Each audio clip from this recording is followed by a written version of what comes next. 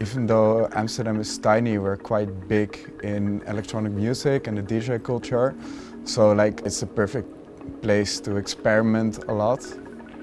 I think we draw inspiration from places all over the world. Places like Shelter started this trend that uh, we're now part of. Rather than trying to imitate what, what they did, we thought we'd, we'd try to make it our own and uh, create a link between the studios that we have here and this critical listening space that is Doka.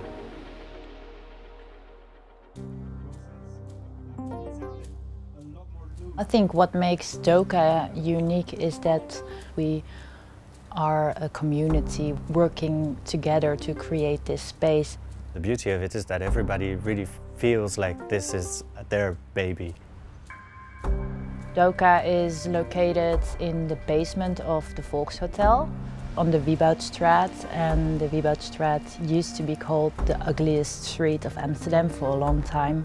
People hated it. I remember moving to Amsterdam 20 years ago and this being a place where most people wouldn't go.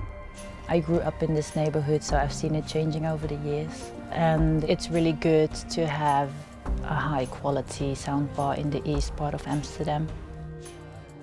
There are hotel guests upstairs sleeping for most of the week and uh, therefore we can't uh, push the volume in the room for most of the time.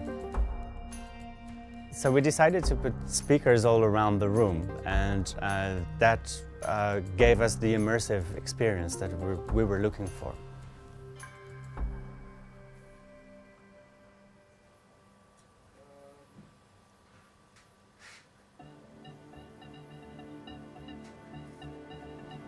The room is really important and really a big factor of how you play and what you play. Because it's a smaller capacity room uh, and it's so immersive, you're, it has to do with layers, so you're so into that sound.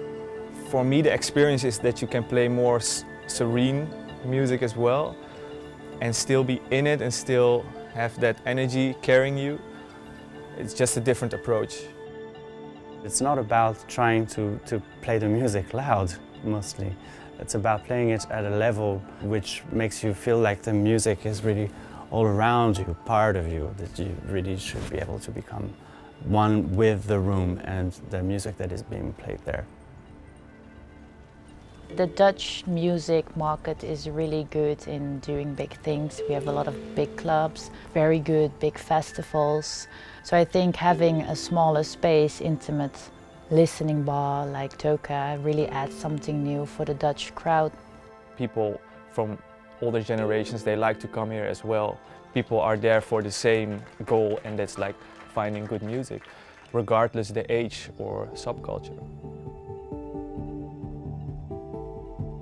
Listening bar is a, is a place where you should feel very comfortable, feel at, feel at home, feel like you're in a place that is a real extension of your living room, but with very good sound.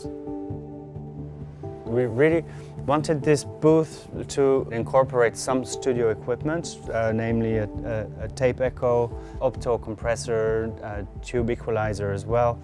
This DJ mixer has been uh, made by Alpha Recording System in Japan. We feel very blessed to be one of the first places to, to have it and it's a real joy to play with. So these monitors are typical studio monitors, really meant for uh, extremely critical listening. These are superseded by the Danley SH50 uh, speakers, which you uh, see all around the room. They're uh, horn-loaded speakers with a very intricate construction. The subs are mounted inside the wall we're constantly evolving, so we're thinking of putting more speakers in the room on the side so that we can uh, keep the volume even lower sometimes and still have enough uh, sound everywhere in the room. We want people to feel comfortable and enjoy high quality of music in the way they want. This can be while having a drink at the bar, or sitting at a table, or while just standing at the sweet spot with your eyes closed. It's important to feel free here. It is very accessible because it's just so intimate and so small. It's, it's all makes sense, I think, why, why these places exist.